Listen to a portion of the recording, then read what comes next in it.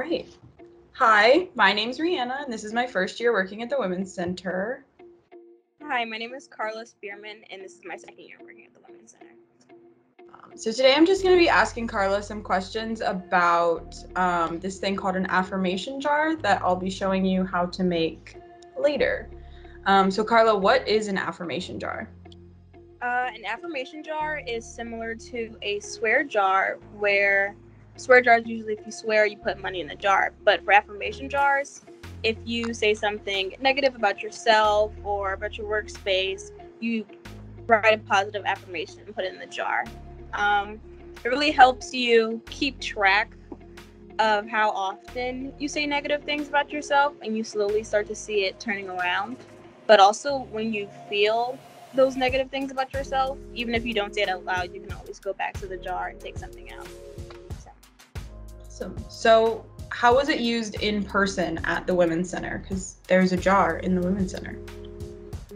Yes, there is. Um, usually we use it a lot um, during staff meetings where we usually make a mistake, and when we we do what's called um, rose and thorn. For the roses, we say something good we did that week and something we might have messed up on or misunderstood, and usually people accidentally let things out like negatively about themselves. So Dr. Murray or Mary Catherine would be like, uh, affirmation jar, compliment jar, and you have to write down something positive for someone else or even yourself to take out of the jar later.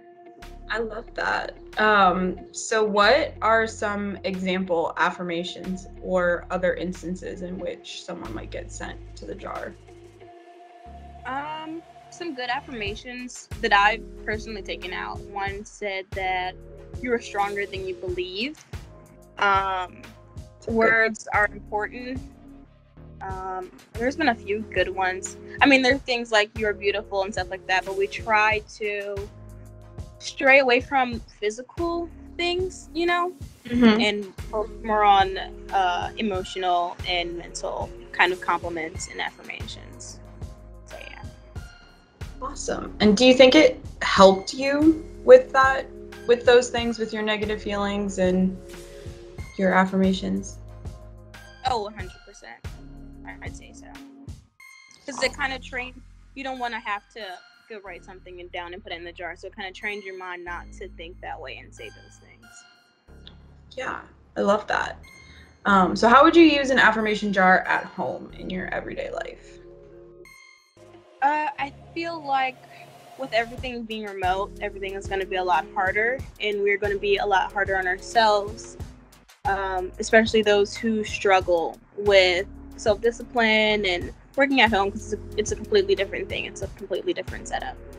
So when we're feeling down about ourselves and kind of mock ourselves or put ourselves down, um, I feel like an affirmation jar could help not only put an end to that, but also lift our spirits up.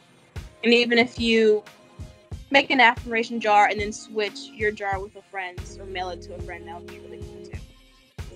That's a really good idea. I like that.